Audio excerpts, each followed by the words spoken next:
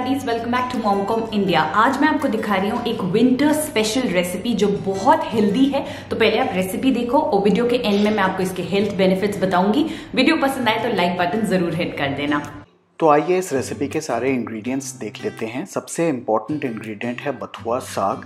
बथुआ साग इस तरीके से दिखता है जिसके हमने पत्ते तोड़ के उनको वॉश करके थोड़ा सा चॉप कर लिया है और ये हम लेंगे एक कटोरी।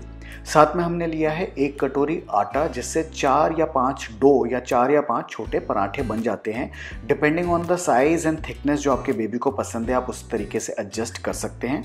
उसके अलावा हमने लिया है एक पिंच ऑफ़ लाल मिर्च आप इसको अवॉइड भी कर सकते हैं depending on your baby's age साथ में हमने लिया है हाफ़ टी स्पून अजवाइन और नमक लेंगे हम स्वाद अनुसार और साथ में घी लिया है जो डो बनाते समय उसके अंदर ऐड होगा।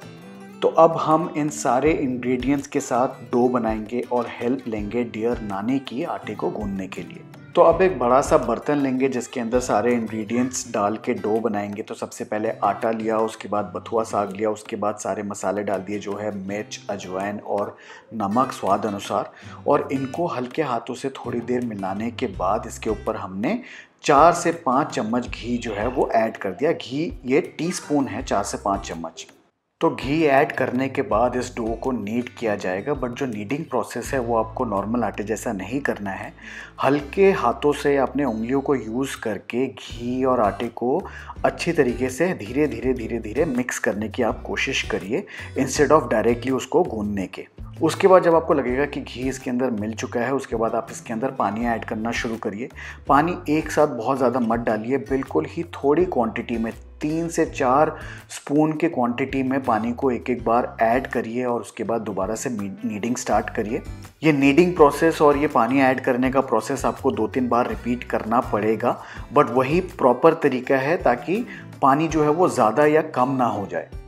तो आपने एक चीज़ नोटिस किया होगा कि प्रेशर जो है वो बहुत ज़्यादा नहीं लगाया जा रहा है, क्योंकि यहाँ पे बथुआ साग जो है वो चॉप्ड है तो हम उसको क्रश नहीं करना चाहते। बट एक और तरीके से भी इस आटे को गूंदा जा सकता है। आप बथुआ साग को लेके उसका एक पेस्ट बना लीजिए मिक्सर ग्राइंडर में, और वो आप आटे के अंदर ऐड करके धीरे धीरे उसका डो बना सकते हैं, वो भी एक तरीका है। तो हमारा गूंदा हुआ आटा अब रेडी है, इसको हम एक बर्तन में ढक के 20 मिनट तक छोड़ देंगे। तो अब एक छोटा सा डो लेके पराठे को बेल लेंगे। प्रोसेस सेम है, हल्का सा आटे में लगाया और उसके बाद बेलना शुरू किया। ट्रिक यह है कि पराठे को थोड़ा क्रिस्पी बनाने के लिए एक बार बेलने के बाद इसके अंदर एक अच्छी क्वांटिटी में घी लगा के उसको फोल्ड करके दोबारा से बेल लेंगे। इससे पराठा आपका क्रिस्पी होगा, जो बच्चों को बहुत अच्छा लगता है। तो हमारा पराठा जो है वो बेलना रेडी हो चुका है और अब हम इसको कुक करना स्टार्ट करेंगे। तवा गरम कर लेंगे। गरम होने के बाद पराठे को इसके अंदर डाल देंगे। टेम्परेचर आपका मीडियम होना चाहिए। और पराठा दो मिनट छोड़ने के बाद वो एक साइड से जब कुक हो जाएगा, उसको हम पलट लेंगे। इस स्टेज में घी ऐड नहीं करेंगे तो दूसरा साइड है, वो भी दो मिनट के लिए कुक कर लीजिए। और उसके बाद जो पहला साइड है, उसके ऊपर घी लगाइए और उसको पलट लीजिए। घी की क्वांटिटी आप अपने हिसाब से एडजस्ट कर सकते हैं, कितना क्रिस्पी चाहिए, कितना सॉफ्ट चाहिए। तो आपके पहले पराठे में आपको पता चल जाएगा कि आपकी जो कंसिस्टेंसी है घी की, वो सही है कि नहीं है। और इस तरीके से पराठे को अच्छी तरीके से कुक कर लेंगे और इसका कलर जो है, वो इस तरीके से बहुत अच्छा दिखेगा और ये पराठा सर्व करने के लिए बिल्कुल रेडी है। तो कोई भी पराठा दो चीज़ों के बिल्कुल इनकम्प्लीट है। सबसे पहले तो बटर हमने यहाँ पे नॉर्मल बटर लिया है। अगर आप वाइट बटर यूज़ करना चाहते हैं तो बिल्कुल परफेक्ट है इसके साथ। और साथ में हमने लिया है हरी चटनी। हरी चटनी के अलावा भी अगर आपके बच्चे को कोई और चटनी पसंद है तो आप वो बना के खिला सकते हैं, जैसे कबीर कभी कभार ये केचप के साथ भी टेस्ट लेके, मज़े लेके खाने की कोशिश करता है। तो गैस ये सिंपल सा बथुआ साग का पराठा हमें एज अ फैमिली बहुत अच्छा लगता है। कबीर भी इसको बहुत इंजॉय करता है।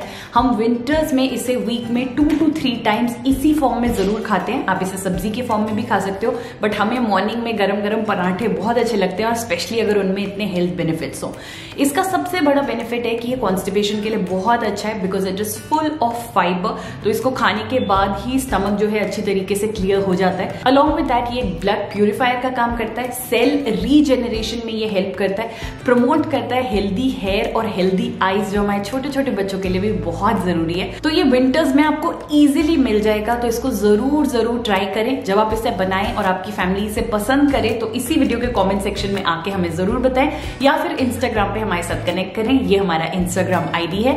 I hope you enjoyed it and I hope you stay safe and stay healthy thank you so much for watching in loving Mom Com India please हमारे चैनल को सब्सक्राइब कर लीजिएगा।